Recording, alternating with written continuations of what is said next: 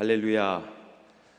이 시간 각 가정에서 예배하며 주님 앞으로 나아가시는 모든 교우 여러분들의 심령과 가정과 일터 위에 우리 주님의 은혜와 평강이 흘러 넘치시기를 축복드립니다.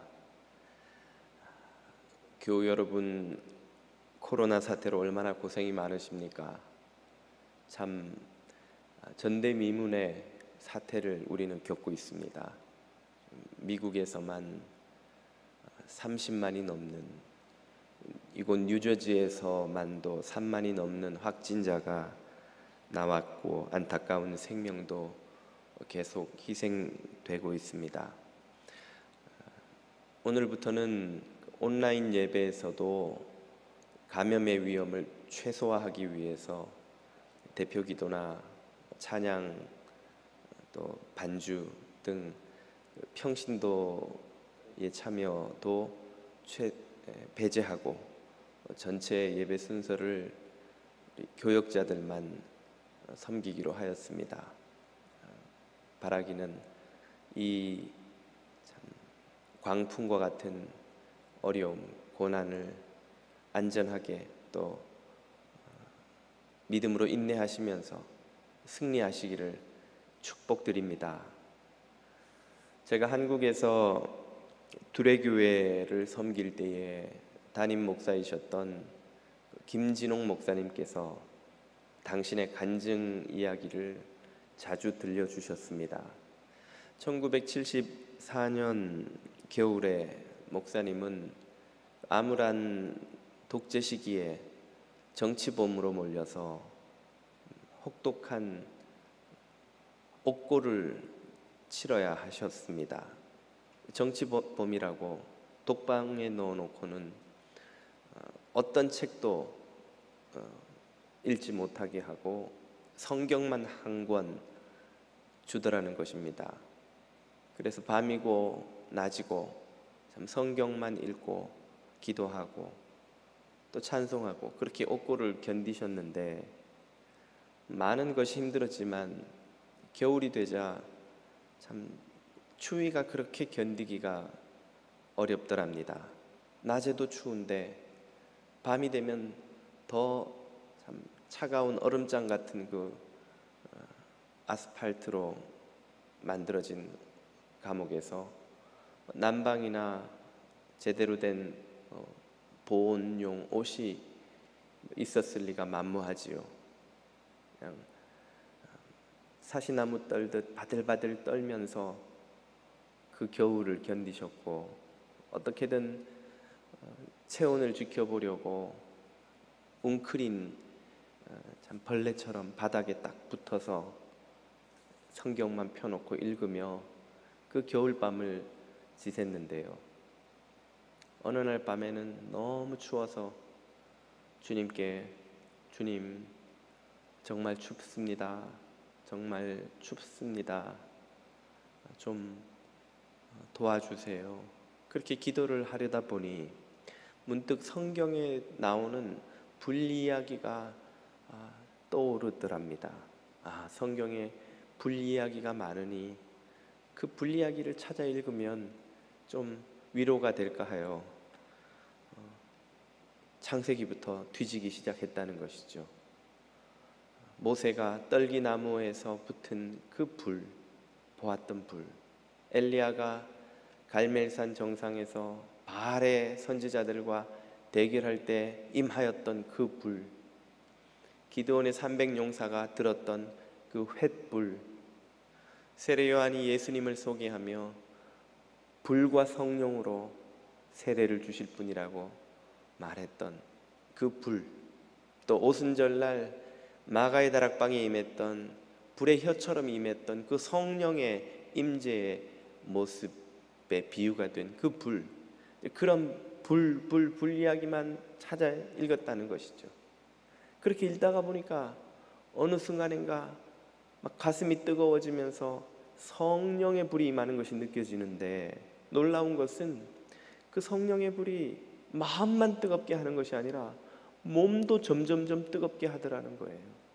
막 몸이 후끈후끈 달아오르면서 추위가 물러가고 막 몸이 불 붙은 것처럼 뜨거워지는 것입니다. 아, 그 순간 예수님이 이 차가운 독방에 나를 혼자 내버려 두지 않고 나와 함께 하시는구나. 그런 믿음이 생기면서 말할 수 없는 위로가 마음에 밀려들더라는 거예요. 너무 감격한 나머지 손뼉을 치면서 목청이 터져라 찬양을 부르면서 하나님을 찬양하고 기도하고 또 그 성경의 불을 찾아 읽고 그렇게 찬송하고 기도하다 잠이 들었는데 아침에 눈을 떴더니 발에 퉁퉁 부어 있던 그 동상의 흔적도 깔끔하게 말끔하게 치유되고 사라지고 없어지고 주위에 얼어붙어 있던 그 몸이 포근하게 무슨 담요 속에 들어가 잠을 잔 듯이 그렇게 회복되더라는 것입니다. 하나님이 나와 함께하고 계시는구나. 나의 기도를 들으시고 나를 지켜주시는구나. 그 위로를 받고는 힘을 얻어서 남은 옥고를 다 치르시고 출소하여서는 더욱 주님을 위해 살게 되었다는 간증을 해 주셨던 기억이 납니다. 하나님은 고난 중에 있는 성도들에게 어떤 분이실까요? 하나님은 바로 위로의 하나님이신 줄로 믿습니다.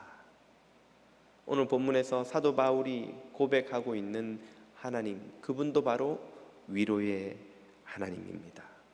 오늘 우리는 고린도 후서 1장 첫 부분을 읽었습니다. 사도 바울이 3차 여행, 전도 여행 중 로마 제국의 아시아 속주의 주도인 에페소에 머물면서 그가 이전에 개척했던 아가야 지방에 있는 에게해 건너편에 고린도의 교회에게 쓴 편지가 바로 이 고린도 전서 그리고 후서입니다. 이 에게해를 사이에 두고 터키에 있던 이 에페소와 그리스에 있던 오늘날의 터키와 그리스죠. 고린도 두 교회는 모두 혹독한 박해 고난을 겪어야만 했습니다. 그들이 겪었던 박해의 모습을 본문 8, 9절이 이렇게 소개해 줍니다.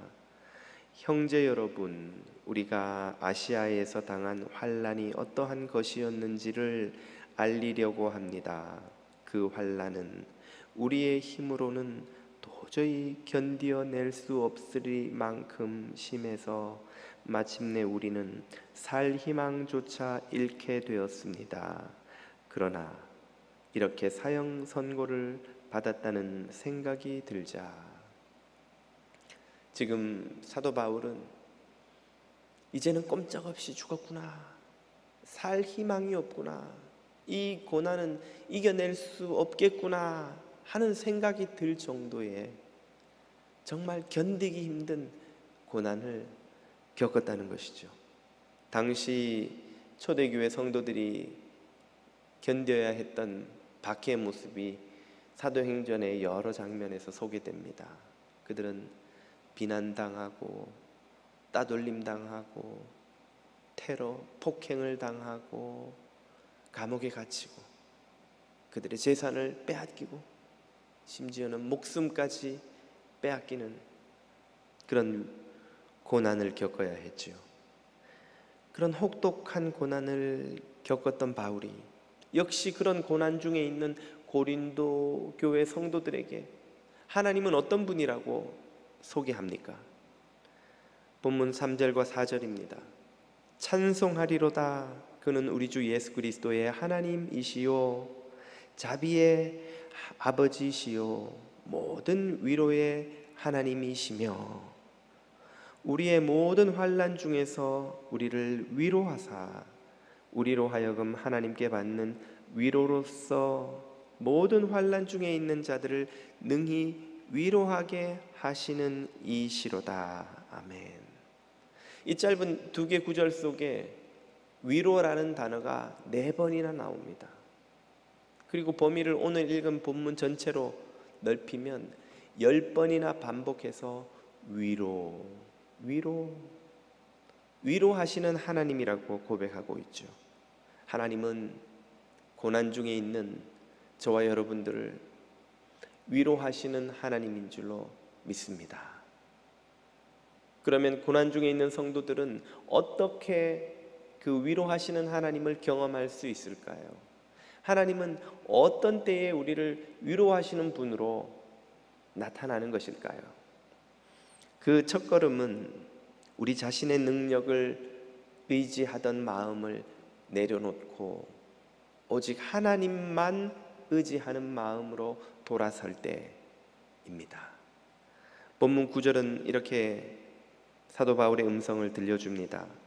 우리 마음에 사형 선고를 받은 줄 알았으니 이는 우리로 자기를 의지하지 말고 오직 죽은 자를 다시 살리시는 하나님만 의지하게 하심이라.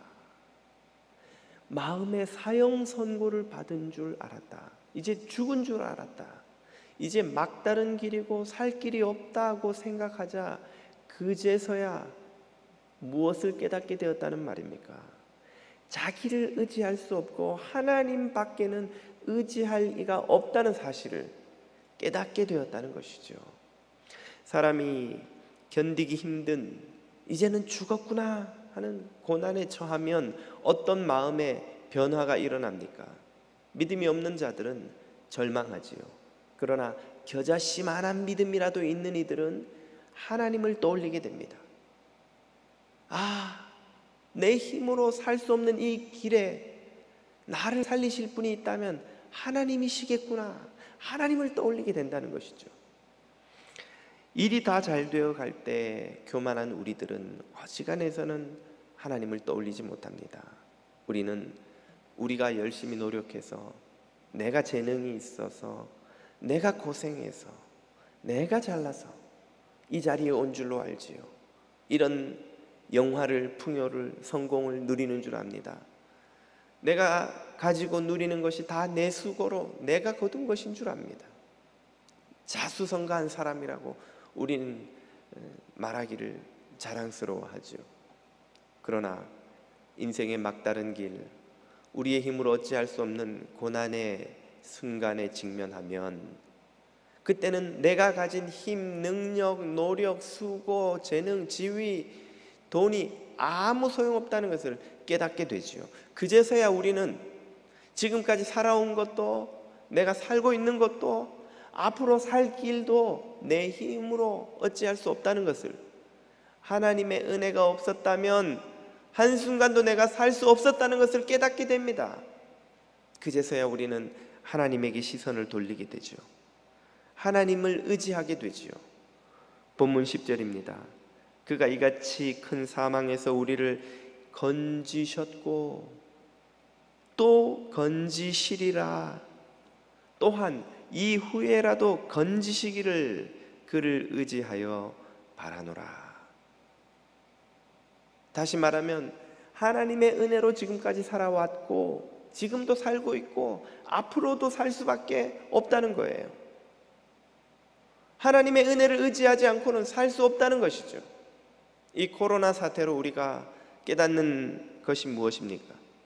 우리가 지금까지 믿어왔던 강력한 나라, 시스템, 제도, 우리가 의지해왔던 우리의 힘, 능력, 수고가 얼마나 부질없는, 보잘 것 없는 우리의 생명을 지키는데 아무 소용없는 것인지를 깨닫는 것이죠. 역사상 가장 강력한 제국이라고 손꼽히는 이 초강대국 미국에서 세계에서 가장 앞서가는 강력한 도시라고 하는 이 뉴욕이 이 코로나 사태 앞에서 얼마나 무기력한 곳인지 지금 뉴욕에서는 여러분도 뉴스를 통해서 보아 아시겠지만 쏟아져 나오는 확진자의 또 안타까이 목숨을 잃어가는 사망자의 대처할 수가 없다는 것이 아닙니까? 확진이 되면 병원 와서 치료를 받으라고 하질 않고 그냥 집에 있으라 그런다는 거예요. 나 확진되었는데 어떻게 해야 됩니까? 집에 있으라는 거예요. 병원 가도 해, 뭘 해줄 수 있는 게 없다는 것입니다. 의료 장비가 부족해서 의사 간호사들도 위험에 무방비로 노출된 채 목숨을 걸고 치료를 해야 하고 쏟아져 나오는 시신에 장례식장 지하실에 그냥 시신이 쌓여 있다는 거예요. 병원 옆에 있는 냉동 트럭 안에 그냥 시신을 쌓아 넣어 놓아 둔다는 거예요. 제대로 된 처리도 장례 절차도 치를 수 없다는 겁니다.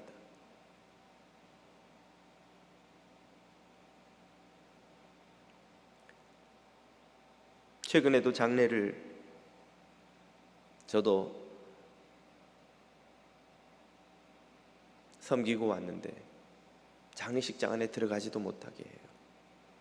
주차장에서 서서 그것도 띄엄띄엄 떨어져서 몇몇 사람들만 가족하고 목회자들만 참여해서 빨리 예배하고 이동하라는 거예요. 화장장에도 가족 한 사람 말고는 오지도 못하게 합니다. 제대로 된 예우를 갖춰서 고인을 떠나보내는 것조차도 할 수 없는 상황입니다. 우리가 그토록 자랑하고 믿었고 힘이 있다고 믿었던 이 나라, 이 제도, 이 시스템, 이 도시,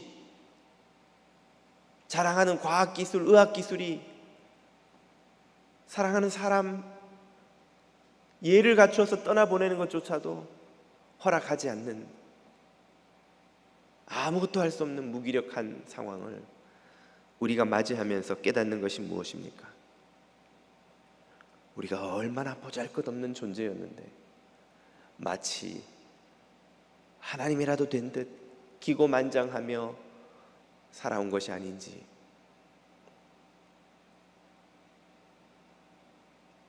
우리 자신을 돌아보게 만들지 않는지요. 이제서야 우리는 하나님 앞에 겸손히 무릎 꿇고 하나님이 도우지 않으셨으면 우리는 지금까지 살아올 길이 없고 하나님이 지키지 않으시면 앞으로도 살 수 없다는 것. 이 사실을 우리가 깨닫지 않으면 도대체 무엇을 깨달을 수 있단 말입니까? 이런 깨달음으로 겸손히 주님 앞에 고개 숙이고 우리 자신을 의지하던 마음을 내려놓고 하나님만 바라보기 시작하면 그제서야 은혜의 물줄기를 가로막고 있던 교만의 둑이 무너지며 하나님의 은혜의 강물, 위로의 물줄기가 우리의 영혼에 흘러 들어오는 것입니다. 이 혹독한 코로나 사태를 겪으며 저와 여러분이 우리 자신을 의지하던 모든 헛된 마음을 내어버리고 오직 하나님만 바라보는 겸손한 주의 종들로 거듭날 수 있게 되기를 주님 이름으로 축복드립니다. 우리가 이렇게 하나님만 의지하기 시작하면 비로소 우리 눈에 들어오는 것이 있습니다. 그것은 바로 우리 주 예수 그리스도의 고난 당하신 모습이지요. 본문 5절입니다. 그리스도의 고난이 우리에게 넘친 것 같이 우리의 위로도 그리스도로 말미암아 넘치는도다. 하나님을 바라보는 성도들에게 그리스도의 고난이 흘러 넘친다는 거예요. 그리스도의 고난이 우리에게 넘친다는 게 무슨 뜻입니까? 그것은 그리스도의 고난의 의미가 바로 우리의 고난에도 부여된다는 뜻입니다. 예수 그리스도의 고난은 아무 의미 없는 운이 나빠서 당한 고난이 아니었죠. 그것은 수많은 죽어가는 영혼들과 세상을 구원하시기 위한 하나님의 사랑과 극률의 방법, 희생이었습니다. 예수님은 수많은 삶을 살리시기 위하여 십자가를 지셨죠. 우리의 고난에도 그 구원의 의미가 있다는 것입니다. 우리의 고난 역시 운이 나빠서 재수가 없어서 당하는 고난이 아니라는 거예요. 하나님이 우리를 구원하시기 위하여 우리를 예수 그리스도를 닮아 정금과 같은 모습으로 나오게 하기 위하여 이 고난마저 사용하신다는 것입니다. 그래서 그리스도가 고난 당하시고 부활하시고 승천하신 것처럼 우리도 이 고난을 통해 구원에 합당한 정금과 같은 믿음의 사람으로 바뀌게 될 것이라는 사실을 의미하는 것이죠. 또한 우리의 위로도 그리스도로 말미암아 넘친다는 건 무슨 뜻인가요? 다시 말해 그리스도께서 우리의 위로가 되신다는 말입니다. 예수 그리스도께서 우리를 홀로 내버려 두지 않고 우리와 비교할 수 없는 처참한 고난을 당하시고 믿음으로 이기시고 부활 승리하신 주님께서 우리의 고난의 현장에 함께 하셔서 우리를 지켜주시고 도와주신다는 뜻이죠. 그것이 우리에게 넘치는 위로를 준다는 말입니다. 김진홍 목사님이 그 옥고를 어떻게 견디셨다고요? 주님이 나와 이 옥에 이 감옥에 함께 하시는구나. 그 주님이 나를 지켜 주시는구나 하는 것을 깨달았을 때 넘쳐나는 그 위로의 힘으로 이기신 것처럼 오늘 우리도 이 코로나 사태로 당하는 모든 고난 가운데 주님이 함께 하셔서 성령으로 도와주시고 이기게 해 주신다는 것을 깨달을 때에 그것을 경험할 때에 우리에게 넘치는 위로로 그 위로의 힘으로 승리하게 된다는 것입니다. 오늘 이 고난 속에 있는 사랑하는 성도 여러분, 이 고난이 의미 없는 고난이 아니며 이 고난 속에 주님이 우리와 함께 하신다는 것을 믿으시고 하나님으로부터 넘치는 위로를 경험하시기를 주님 이름으로 축복드립니다. 이렇게 우리가 하나님만 의지하고 예수 그리스도를 바라보게 되면 무슨 일이 일어납니까? 막혔던 혈관이 뚫려 피가 심장에서 온몸에 퍼져가 생명이 회복되는 것처럼 예수 그리스도로 말미암는 위로가 우리의 영혼에 성령의 피줄기를 통해 흘러 들어오는 것이죠. 우리 안에 위로가 흘러 넘쳐나게 되는 것입니다. 그리고 더 나아가 그 위로가 우리 안에서 흘러 넘쳐나 우리 곁에 있는 가족, 이웃들에게까지 퍼져가게 되는 것입니다. 본문 4절이 이렇게 말씀하십니다. 우리의 모든 환란 중에서 우리를 위로하사 우리를 위로하는 데서 그치지 않으시고 우리로 하여금 하나님께 받는 위로로서 모든 환란 중에 있는 자들도 능히 위로하게 하시는 분 그분이 위로의 하나님이시라는 말이죠. 이렇게 위로를 나누면 위로의 능력이 배가가 됩니다. 위로를 받는 이들만 위로를 경험하는 것이 아니라 위로를 하는 이들도 위로를 경험하죠. 위로를 나누면 나눌수록 두 배, 세 배, 네 배, 여덟 배, 열여섯 배 기하급수적으로 그 위로가 늘어납니다. 이것이 나눔의 원리지요. 선생이 학생을 가르치면 유익을 얻는 것은 학생만이 아닙니다. 가르치는 선생도 자기가 알고 있던 것을 더 잘 알게 되고 그와 관련해서 모르던 것까지 알게 되고 더 깊은 통찰이 생기게 됩니다. 그래서 학교를 막 졸업한 신입 교사보다 베테랑 교사가 훨씬 지혜롭고 능력 있는 이유가 그런 것이죠. 가르치면 가르칠수록 배우는 이뿐 아니라 가르치는 이도 더 많은 유익을 얻는 것처럼 위로를 나누면 나눌수록 위로를 받는 이뿐 아니라 위로를 베푸는 이도 그 위로의 은혜의 힘을 함께 경험하게 됩니다. 하나님은 이 나눔의 원리를 통해서 위로를 공동체 구석구석을 퍼뜨려 그 공동체를 살리시고 축복하시고 부흥케 하십니다. 본문 6절이 이렇게 말씀하십니다.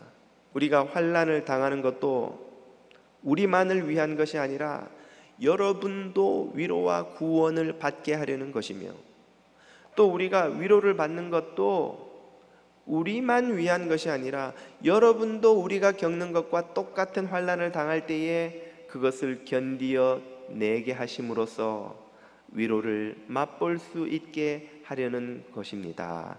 아멘. 하나님이 우리에게 위로를 주시는 이유는 우리만 위로하실 뿐 아니라 우리 곁에 있는 형제 자매들을 또한 더욱 위로하시어서 우리와 형제 자매가 함께 위로받아서 함께 살고 함께 치유되고 함께 부흥되고 함께 회복되는 것을 경험케 하시려는 것이죠. 이 과정에서 무엇이 생깁니까? 공동체, 참된 교회가 태어나는 것입니다. 이렇게 위로를 나누며 형성된 공동체가 진정한 교회입니다. 좋은 시절을 함께 해도 물론 공동체는 생깁니다. 그러나 그 공동체를 붙들어주는 접착제는 밥풀 같은 것이어서 조금만 흔들어도 떨어져 나가버리는 거예요. 그러나 고난의 시기를 함께 견디어낸 공동체는 참된 접착제, 사랑이라는 초강력 접착제로 들러붙어서 떼어낼 수 없는 공동체가 됩니다. 그 고난의 시기를 기도와 눈물과 인내로 함께 견딘 공동체야말로 참으로 하나님께서 원하신 교회, 예수 그리스도의 몸된 교회가 되는 것이죠.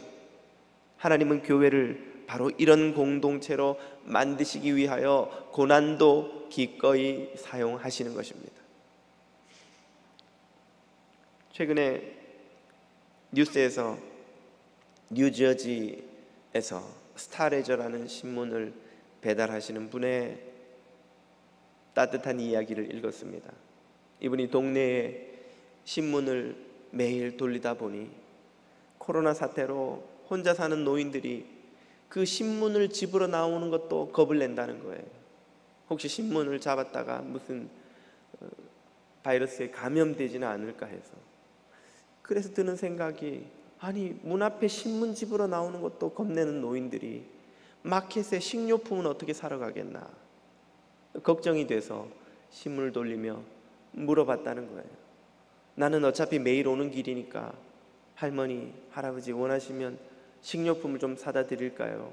문 앞에 놓고 가면 되지 않겠습니까? 그랬더니 이분들이 너무 좋아하면서 사달라고 막 이것저것 메모를 해서 돈과 함께 이렇게 문 앞에 놔두고 기다리신다는 거예요. 그래서 그걸 한 집, 두 집 그렇게 사주다 보니까 너무 많은 분들이 그걸 원하셔서 이제는 이 배달하시는 분과 아내와 아이들까지 마켓에 가서 산더미처럼 식료품을 사다가 집에서 그걸 일일이 다 분류를 해서 봉투에 담아서 그리고 할머니들에게 할아버지들에게 편지까지 써서 그걸 집집마다 전해 주신다는 거예요. 물론 그렇게 하면 코로나에 노출될 위험이 그분과 그분 가족들에게는 더 높아지는 것도 사실이죠. 하지만 그분들을 돕다가 보니까 얼마나 보람이 된지 자기가 사는 이유를 알 것 같다는 거예요. 얼마나 보람되고 즐거운지 그것이 자신에게 더 큰 기쁨이라는 말로 인터뷰합니다. 우리가 위로를 나누면 두려움이 용기로 바뀝니다. 위로를 나누면 걱정이 믿음으로 바뀝니다. 여자는 약하지만 엄마는 강한 이유가 무엇입니까?